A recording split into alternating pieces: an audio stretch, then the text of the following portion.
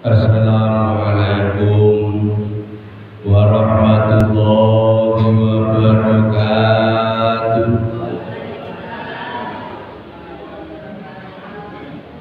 Bismillahirrahmanirrahim.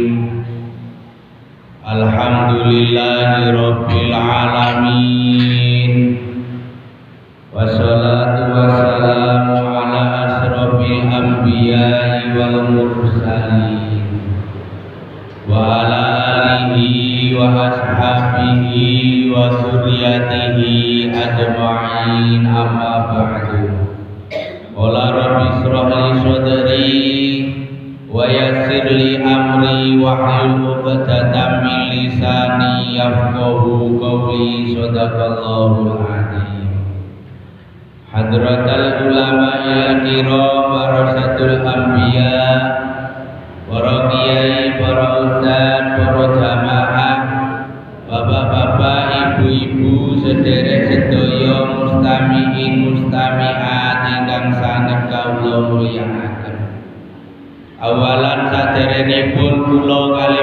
Panjenengan sedaya nglajengaken pengaosan rutin kitab Lubabul Hadis. Monggo kita sareng-sareng.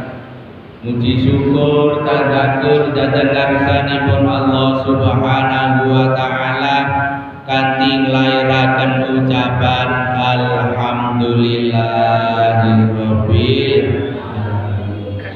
Dene punapa kula kali panjenengan wonten saat niki tasih angsal rahmat hidayah Gusti. Sehingga dengan limpahan rahmat lan hidayah ingkang sampun dipun paringaken dumateng kita sedaya.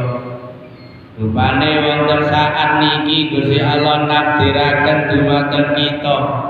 Saged kekempelan malih ngelompok dadi situk tengok-tengok lek pegel sembujung ya sikile ditekuk. Mbih golek sendenan mantuk-mantuk. Ya itu tandane wis rada. Mosok ya ini ngantuk iki nggih mudah-mudahan rawuh kula kali panjenengan sedaya mulai awal hingga akhir mangke. Kundur kula sampean kabeh oleh predikat amalan makbulan amal sing dipun trami wonten ngarsanipun Allah Subhanahu wa taala. Oleh ilmu ingkang manfaat fid dini wa dunya wal akhirah. Allahumma amin.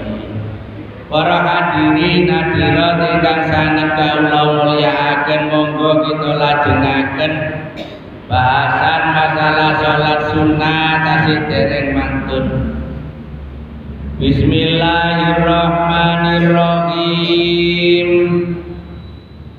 Wa qala lan wis ngendika. Sapa sing ngendika? Boten sanes Kanjeng Nabi Muhammad sallallahu alaihi wasallam. Man utawi sapa wae? Kapan duli lanang utawa wadon Wae wong sugih bakal duwe duwe jabatan utawa rakyat biasa pokoke wong Salat kang gelem salat sapa wong Kebelat duhuri ing dalem saderenge duhur? Arbaan kelawan petang rakaat. Kana mongko ana sapa sing gelem lakoni salat petang rakaat sadurunge salat zuhur. Iku kaadeli rapa batin. Kaya merdekake kawula min bani Ismaila saking anak turune Nabi Ismail alaihi Pun para hadirin hadirat ingkang sanget kawula mulyakaken. Kesempatan kula kali sampean kabeh. Salat petang rakaat saderenge salat zuhur. Rong rakaat salam kali rakaat salam. sehingga hitungane termasuk petang rakaat Golek wit kados mekaten para hadirin tirose Kanjeng Nabi. Walaupun kula kali sampean kabeh gak menangi Nabi Ismail. Sampai lah pun kenal Ismail nggih. Bu pun kenal Ismail nggih. Oh, Cak Mail ngoten nggih. Eh, Cak Mail kenal nabine boten lah ngoten. Awake dhewe gak menangi Nabi Ismail putrane Nabi Ibrahim alaihi Dadakno kok purun nyempat-nyempataken wekdal kula kali sampean kabeh.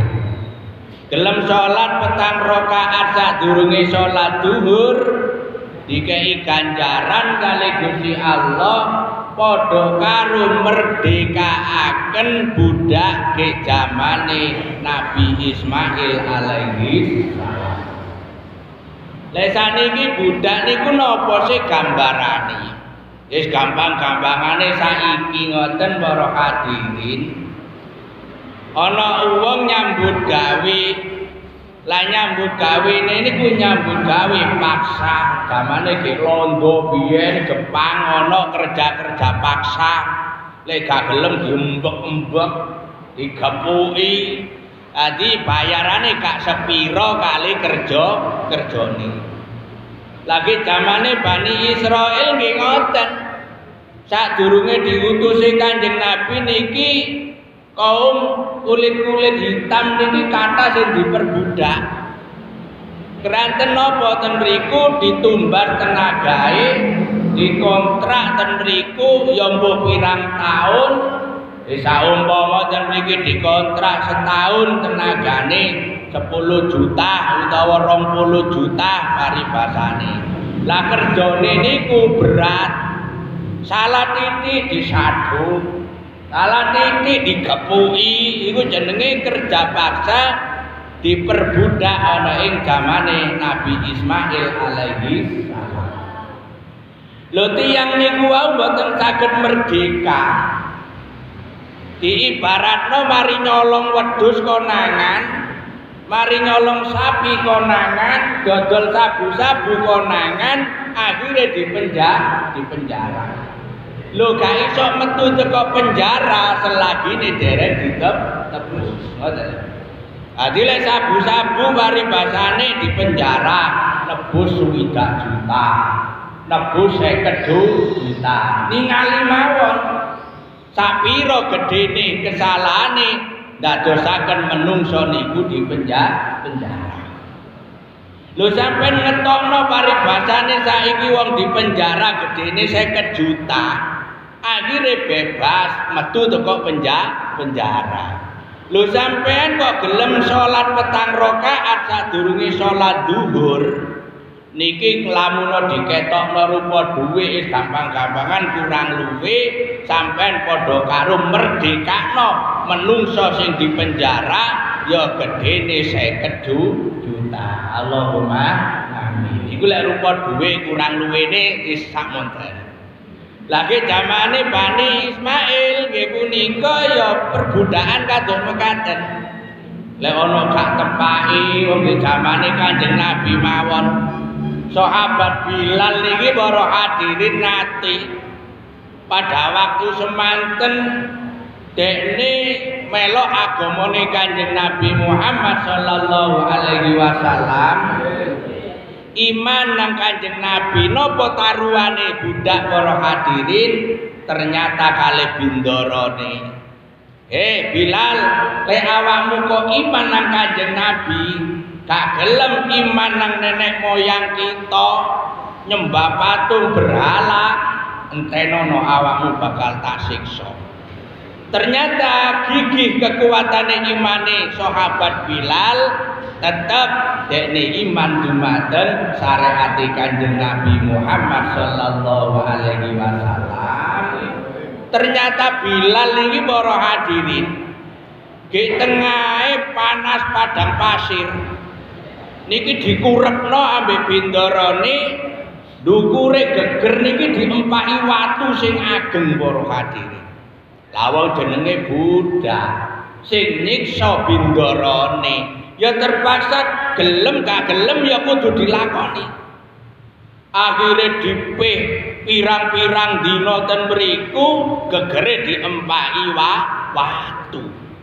Lho semanten mawon para hadirin gak iso bebas teko siksaane bindarane lek sahabat Bilal mboten ditebus akhirnya para hadirin ditebus kali sahabat Abu Bakar sehingga siksaane sahabat Bilal dipreno. Lho niki lho para hadirin berarti kula sampean kabeh lek purun salat petang rakaat sadurunge salat zuhur padha karo nyelametno wong sing disiksa padha karo nyelametno wong sing dianiaya kali bindarane akhire bebas dadi wong merdeka. Insya Allah di saking gedene ganjarane kados mekaten. Nggih mula saking punika ya ayo disempat-sempatno. Kapan maneh lek mboten saniki mumpung kula kali sampean kabeh tasih gesang wonten alam dunya wit mati getun para hadirin Lah wong kuburan iki ya Allah ero ganjarane nalika urip di alam dunya nglakoni amal soleh. Nangis-nangis nang ngersane Gusti Allah ilahi do Gusti. Mbok nggih kula niki sampean sukani kesempatan balik nang dunya. Kula tak salat rong rakaat mawon Gusti, mboten kata-kata rong rakaat mawon. Kula tak nyuwun dumateng panjenengan lek kula niki sampean ijabahi urip nang alam dunya malih. Kula tak maca tasbih ping pisan mawon Gusti. Subhanallah, namung sepindah mawon ngangge sampean pejahi malih. Kula tak maca kalimat tauhid Gusti. La ilaha illallah Muhammadur Rasulullah. Sepindah mawon kula badhe ngucap kados mekaten baru sampean pejahi mali. Ya Allah ahli kubur ningali wong di alam dunya. Dadakno heran he menungso awakmu kok tenang-tenang. Getun lan nelongso gak ana maneh lek wis mati karek getun lan nelongsone. Mergo ganjarane salat rong rakaat diketokno sakmene gedene. Wong maca tasbih sepisan sakmene ganjarane. Wong ngucap kalimat tauhid la ilaha illallah Muhammadur Rasulullah sakmene gedene lek dibanding ambek langit pitu bumi pitu ganjarane sing gedhe ngucapno kalimat tauhid la ilaha illallah Muhammadur Rasulullah Lho niki lho kesempatan kula kali sampean kabeh mumpung tasih gesang wonten alam dunya. Akhire ya apa wis gak iso berhubung wis kadung mati gak iso bali maneh nang alam dunya. Pun salajengipun Tirasi kanjeng Nabi Muhammad sallallahu alaihi wasallam ngendika malih Man utawi sapa wong salat kang salat sapa wong. Rakaataini kelawan rong rakaat. Fi kholain ing dalem persepen sepi kana wong. Layarahu kang ora weruh ing wong oleh salat saking sepine illallah sapa sing karo kabeh kana sing ero illallah kejaba namung Gusti Allah. Wal malaikatu lan para malaikat. Kutiba mongko den tulis lahu keduwe wong. Sing sembayang rong rakaat sarana nyamar kana sing ero ya mbok menengke jero kamar irangan waktu dalu ujunge wong turu. Sampai nyempat-nyempat no salat rong roka rong rokaat. Anak karo bojo karo tangga mboten eruh. Sing semerap namung sing lakoni salat kali para malaikat kali Gusti Allah. Sing eruh ngene ku mau ta lek wis kadon mekaten ya napa para hadirin awake dhewe ditulis kali Gusti Allah liwat para malaikat sing nulis apa baroatun lebaran minan nari saking neraka neraka Allahumma Allahumma Asline ngoten gak kecemplung neraka iku dalane ya gampang. Cuma awake dhewe niku gak ero dalan kadang. Lho saiki mumpung ero dalane. Dhewe cek slamet teko geni neraka, oh ternyata gelem salat rong rakaat. Oleh salat sarana samar gak ana sing eruh kejaba dekne malaikat kali Gusti Allah. Lho ngono wis malaikat diperintah kali Gusti Allah. Malaikat nggih Gusti. Tulisan kalau apa Yasin Allahumma amin. Apa langsung diingkat ngono ae kaget. Ya Allah tulisan. Mergo tau umume wong turu jam telu bengi. Kadano salat ngijeni. Rong rakaat krana wedi. Wedi nang siksa kurupane ya swarga neraka. Kepingin oleh kenikmatan suar swarga wis tulisan wis mulai saiki tulisan. Apa yasin bebas teko geni neraka neraka. Allahumma amin. Iya butuh amin. Mergo napa awake dhewe kabeh kepingin bebas teko geni neraka neraka. Ya karena ceritane sak dablek-dableke wong daftar nang neraka karena ceritane. Ana wong gak sembayang blas gak tau poso rasakno ten riku ngaji gak gelem budal akhirnya ditakoni Eh wagu sampean iku umur peno ya wis tuwek kok gak gelem ngaji, gak gelem poso, gak gelem salat iki lho. Sampean ngono wani ta nyemplung neraka. Asline yo gak wani. Nah, lah lapo kok gak wani panas. Lah terus sampean yo gak wani nyemplung neraka kok gak gelem nglakoni perintah Gusti Allah ya apa? Aduh, gak kuat. Gak kuat. Gak kuat.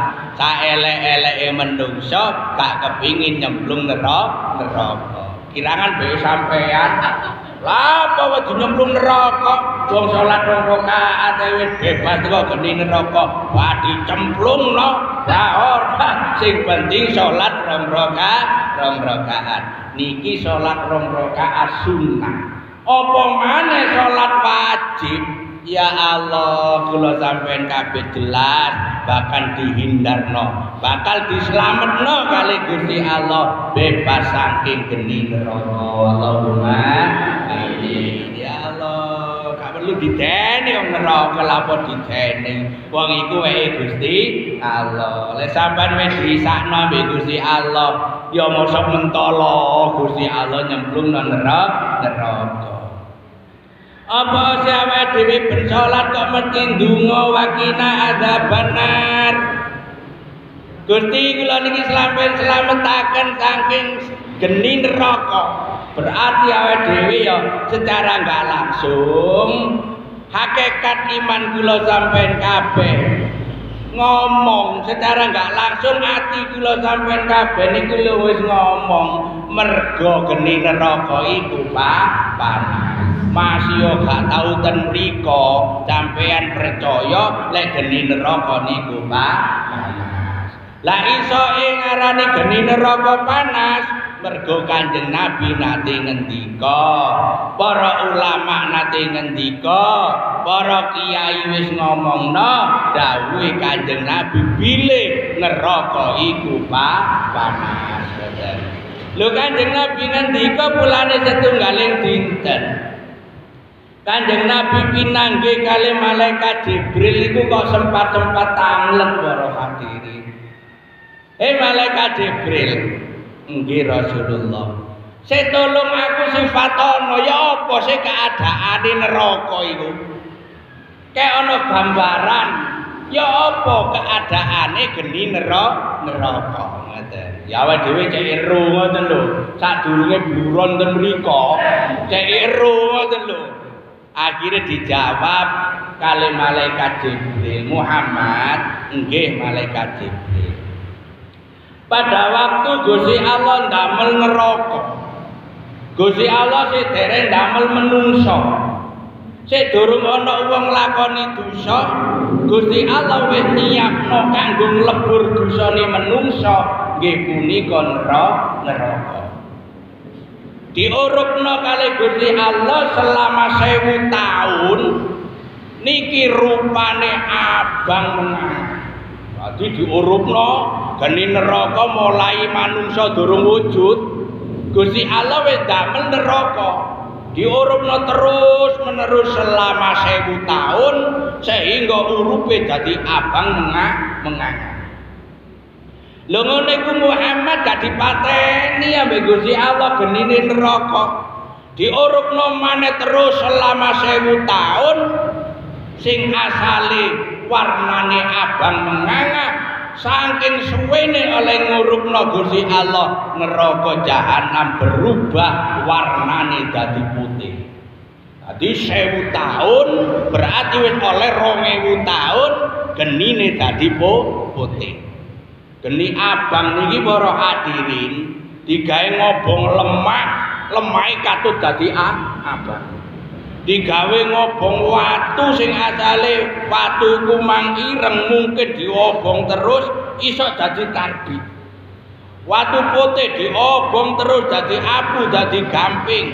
Diobong terus watu dadi macem-macem ten mriku mergo kena panas geni apa. Semanten mawon watu diobong kali geni niki dados lele Jadi ngobong foto lho Pak. Lek wis warnane abang mengangat diterusno disogoki kayu terus sampai telung dina. Ngoten niku lek dibongkar saking lingganane boto, warnane niki berubah. Sing asale ndukur kuning, tengah abang, isor ireng. Mergo napa saking nemene diobong kali geni abang. Cuma boten kiyat ngobong wesi. Tasih dereng kiat la wesi niku perkara sing atos isoe cair lek diobong geni sing abang diterusno dadi berubah putih. Saking panase geni sampai rupa putih baru wesi iso dadi le lele sampai lek ngelas-ngelas wesi ini kalau pak medale muncul lap-lap ngoten niku abang napa putih? Putih dilap-lap putih mergo napa? Saking panase geni. Wong sing ngelas ae para kadin damel kacamata ireng. Saking wedi kenek sulake geni putih lap-lap-lap akhire geni putih iso ngleleno wes wesi. Terus diurupno kali Gusti Allah dari malaikat Jibril selama 1000 tahun maneh geni sing berubah putih surem gal titik dadi ireng ireng ireng au ireng glingseng kaya dening arem kaya dening aspal. Diurupno telung ewu tahun sehingga urupe dadi ireng. Terus diurupno sampai dino saniki mboten mati-mati. Wis pirang ewu tahun pirang juta tahun mulai Gusti Allah damel sampai saniki geni neraka mboten nate dipate pateni.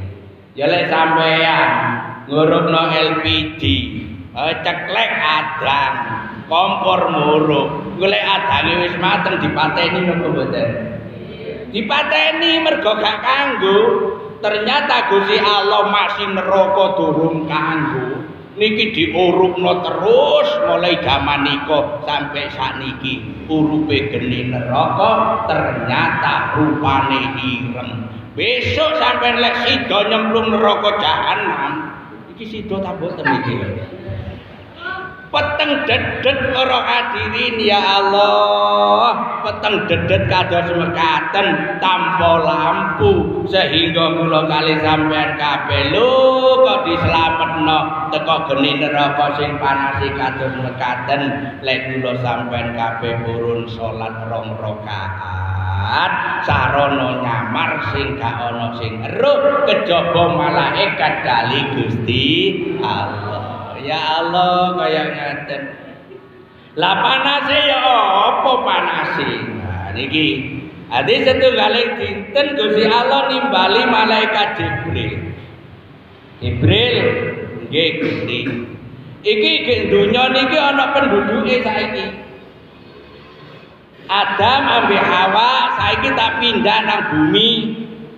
Mergo maksiat di swarga. Lah iku mboten geni. Kate Adam ya sing durung ana korean. kate godhog banyu ya sing durung ana gen geni akhire awakmu tak perintah brilyo nang neraka nang malaikat malik njaluk geni neraka engko gawa nang alam dunya kekno nang nabi adam cek kanggo masak kanggo macem-macem keperluane gen geni. Oh nggih Gusti. Akhirnya budal malaikat Jibril menuhi malaikat Malik. Pun kenal Malik nggih? Malik kenal nggih? Ya tunggale niku wau. Adi kepethuk malaikat Malik sing bagian jaga neraka akhirnya malaikat Malik tangan kon dungaren bril awakmu rene engwe kula diutus kali Gusti Allah dinten punika bumi wonten penghunine. Lah sapa penghunine? Adam kali Hawa. Lah awakmu rene kate apa? Kula dikengken kali Gusti Allah supados mendhet geni neraka. Lah mangke kula aturaken dumateng Nabi Adam, ya cek kena digawe Adam, kena gawe masak, ya kena gawe rokok, rokokan. Tapi Nabi Adam ya rokokan. Eh sampai saiki kena gawe rokok, rokokan. Akhirnya para hadirin awakmu kira-kira njaluk sapi robril dari malaikat Malik. Nggih mboten ageng-ageng malaikat Malik, kula nyuwun sagedene kurma, satu biji kur kurma. Satu biji kurma ya kurang luwih ya sak putuke jempolane driji ngeten iki. Akhire para hadirin dijawab kali malaikat Malik. Jibril nggih. Bukane aku gak ngekeki geni neraka kok gawa nang bumi, Bril. Lamun awakmu njaluk geni neraka gedene sak biji kurma. Sak kurma situ kok gawa nang bumi. Langit itu bakal leleh bumi ne leleh. Saking panas panasi. Wah iki ya apa iki njaluk sak dhewe ngeten mawon. Kula nedhi separo kur kurma. Sia sigare kurma mawon. Ngene bril nggih. Tak kabar awakmu Lek aku ngekei separo ni kurma kok gawa nang bumi. Nabi Adam kasih do masak, Nabi Adam si do bongko. Semerap bongko. Si do mati Nabi Adam. Langit gak bakal nurun banyu sak tetes, banyu udan gak bakal nurun nang bumi sak tetes saya gak bakal. Ke bumi gak bakal nyukul no suket situ eh gak bakal cukul segoro dadi asat mergo awakmu nggawa geni neraka. Gedene separo kur kurma. Akhire wis ya bingung. Wis wis wis ngene sik aku tak munajat nang ngersane Gusti Allah. Ilahi do Gusti. Sapinten kula mendhet geni neraka sing badhe kula aturaken dumateng Adam Gusti. Jibril nggih Gusti. Jupu oh sak gedene semut kuda semut sing merambat-rambat ke sego niku lho para hadirin. Kira-kira gedin di jentian sampean Ya Allah lembut semut sing merambat ke sego biasae. Jupu oh sak ngono Bril. Jupu oh sak ngono. Oh nggih Gusti Wis ya apa bril dari malaikat Malik. Ngeten malaikat Malik kula dikengken kali Gusti Allah supados mendhet geni sak gedene semut sing rambat-rambat di sego. Ibarate miskola dzarratin sepadane biji sawi utawa ya wis sak bijine apa sing paling cilik dhewe. Ya sakmono iki ana. Oh ya wis lek ngono tak gawani. Cuma pesenku brilio dari malaikat Malik nggih. Aja langsung kok gawa nang bumi. Cemplungno dhisik kumen. Ge telaga-telaga suwarga ambal ping 70 70 bengawan. Oh nggih, akhire digawani geni sing gedene sak semut sing paling cilik. Akhire digawanang bengawan suwarga dikum kali Nabi kali malaikat Jibril nyemplung blakuduk blakuduk umat sedoyo bengawan diangkat kali malaikat Jibril dipindahna bengawan situ nih dicemplung no mana umat bengawan blakuduk blakuduk blakuduk saking panas panasin diangkat mana dipindahna bengawan dipindahna bengawan sampai ambal ping pitung puluh bengawan baru para hadirin pirada anget-anget iki jumbo sakniki. Oh iki wis anget iki.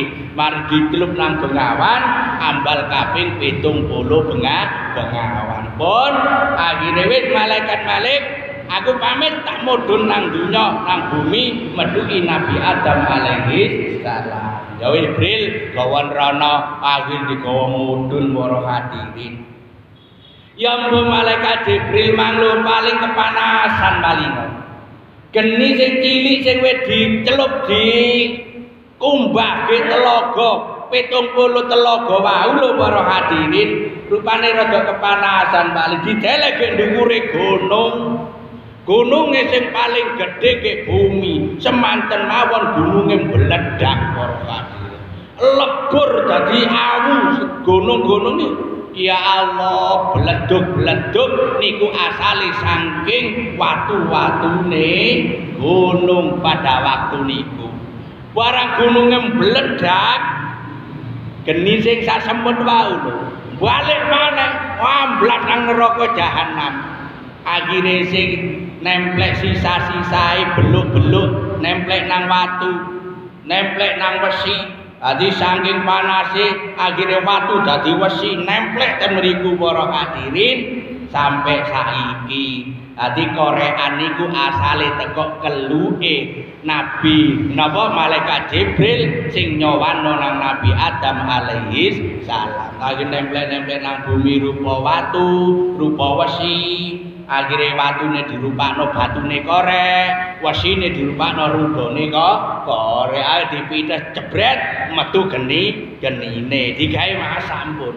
Lah jaman biyen watu ditatapno sret sret sret akhire metu geni genine. Pun metu keluke kena digawe masak. Saiki kena gawe ngobong boto kena digawe ngelas iso ngobongno omah, iso ngobongno pabrik, gara-gara napa? Boten geni asli, cuma sekedar keluke neraka jahanam. Sing cilike sak semut pudak sing wis dikumbah selama pitung puluh bengawan. Ternyata semanten mawon dideleke gunung gunung mblet mbledak. Kira-kira sampai nunggu ngoten ya napa Bu? Modar napa mboten Ya Allah modar kula sampean kabeh. Kulane awake dhewe njaluk nang ngertane Gusti Allah. Allahumma azirna minan nar. Allahumma azirna minan nar. Allahumma azirna minan nar. Ya Allah, kula niki sampean slametaken saking geni neraka. Neraka. Pun mari salat lak ngoten nggih. Dadi mboten lepat awake dhewe njaluk slamet saking geni neraka. Neraka. Dadi lek wis slamet awake bakal kepethuk kenikmatan ingkang abadi rupane suwargane Gusti Allah. Syarate lek kepingin slamet teko geni neraka gelem salat rong rakaat dalam keadaan samar. Semedi dhewe kana sing eruh. Mungkin lek kepingin gak eruh meneng jero kamar kamar dikunci. Wah ana arek liwari ge ngarepe kamar kano sing eruh. Mergo kepingin salat menyendiri menghadap dumateng ilahi rabb rabbi ngaten pun monggo salajengipun waqala lan wis sapa sing ngendika kanjeng rasul Muhammad sallallahu alaihi wasallam? Mamin abdin ora ana utawi kawula. Iku yusolli salat sapa kawula. Fi baitin ing dalem omah. Mudlimin kang peteng. Birukuin kelawan ruku tamin kang sampurna wa sujudin lan sujud. Tamin kang sempurna. Illa wajabat kejaba wajib. Lahu kedue wong sing sembayang di petengan di jero omah sing peteng rukuke sampurna sujude sampurna sarana tumaknina wajib kula sampean kabeh lahu kedue wong apa al jannatu suwar? Suwarga. Allahumma. Allahumma. Bila hisabin kelawan ora den hisab. Tadi enake kula kali sampean kabeh sembayang sendirian di jero omah peteng dalam arti tengah dalu. Usume wong turu dadakno sampean dipin-dipin nang ngersane Gusti Allah. Salat disempat-sempatno walaupun rong rakaat paribasane. Rukuke disampurnakno sujude ditumakninakno sampai salam awake dhewe kanthi tumaknina lek wis kaya ngoten awake dhewe diwajibno kali Kanjeng Nabi. Diwajibno kali Gusti Allah. Dateng pundi? Dateng swargane Gusti Allah. Dadi jenenge wis wajib para hadirin. Seakan-akan lek gak mlebu swarga ngono kedusan. Aku lek gak mlebokno kawulaku nang swarga seakan-akan aku iki rumangsa kedusan saumpamane ngoten semua sampean niku kaya ngoten mergo wis kadung nglakoni salat rong rakaat. Dik peteng dedet kana sing eruh rukuke tenang. Allahu akbar ruku tenang. Subhana rabbiyal azim wa bihamdi. Subhana rabbiyal azim wa bihamdi. Ping telu tenang. Sami Allahu liman hamida tenang. Gak gupuk gak kaya wong gupuk kate ngentas memean siku danan ngoten niku Adi ana sembayang gupuk karepe dhewe niku? Mergo napa? Wis kadung ngepi memean wae garing glodok udan teko hubu karepe dhewe. Ati sembayang kaya dening pitik jagung nyucuk jagung celuk tola toleh celuk diangkat celuk diangkat. Mergo napa? Kuwatir konangan sing ngepi pari utawa ngepi jagung. Akhire gopo kabeh awake dhewe santai tenang. Sing penting tumanina lek wis kados mekaten wajib kula sampeyan kabeh mlebet swarga Gusti Allah. Ate mlebu swarga bila hisabin tanpa dihisab mergo menungso kate nang swarga niku macem-macem dalane. Ana sing di jembatan Siratal Mustaqim 1000 tahun kae tutu swarga. Mergo diteliti amale ribet oleh menghisap. Ditakoni macem-macem disidang dhisik.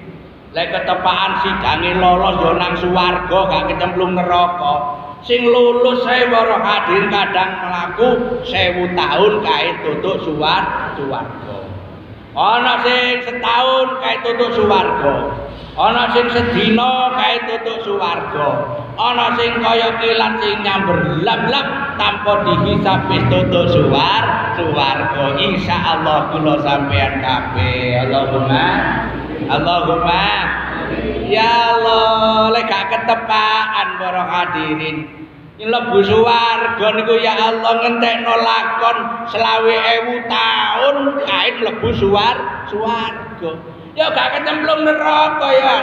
Dihisab tok, diteliti amale niku lho. Ya mungkin saking sugene, saking nelitine kuwata, umure dawa. Iya tunggale kuman. Umure dawa soge kanggo dihisab suwe oleh menghisab salate kadang tepak kadang gak tepak. Posone kadang tepak kadang boten tepak sedekane kadang ikhlas kadang boten diteluwiti sampai ngentekno waktu selawi ewu tahun kae tutuk suwar suwarga ya Allah selawe ewu tahun mboten selawe ewu dina niki. Selawe ewu ta tahun kait nang suwar suwarga ya Allah yang gelingseng ngono kali bareng kate nang suwarga lah suwarga iki panggonane wong ganteng-ganteng kaya iki ana wong gelingseng ireng kate nandi sampe ten suwarga suwarga gak oleh dileboni wong ireng Awakmu ireng kaya areng ini ya apa? Ya napa aku lho menengke jembatan Siratal Mustaqim lho. Selawe ewu tahun kula niki akhire ireng kaya ngene. Ya wis lek ngono adusa dhisik. Aja nang swarga sik, adusa dhisik. Akhire adu ten mriku Telaga Hayat. Wonten Telaga Hayat niku setiap menungso kate nang swarga mergo kaget geni neraka adus dhisik. barang adus sing asale ireng lingseng kaya areng mentas langsung bersinar bersih resik akhirnya ya Allah kaya dening bulan purnama benter-bentere rembulan tanggal 14 limo limo las gawanteng sing wedok ayu. Mergo napa? Mari adus ke bengawan ha hayat. Bulane bengawan hayat gak dikekno ke alam dunya lek dikekno ke alam dunya menungso kan sing mati. Mergo napa? Mari adus ke bengawan ha hayat dadi bengawan panguripan. Menengke suwarga wis gak mati maneh wonten neraka ya wis gak mati male niki sing kita kejar saestu mudah-mudahan kula kali sampean kabeh ibadah demi ibadah asal ridhanipun Allah Subhanahu wa taala insyaallah lek kula kali sampean kabeh calon penghuni-penghuni swarga pungkasan kula sampean kabeh dipungkasi kanthi pungkasan husnul khotimah.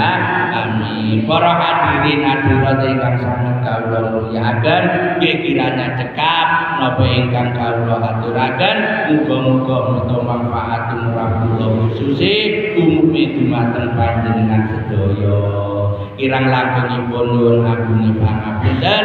Akhir kalam wassalamualaikum warahmatullahi wabarakatuh.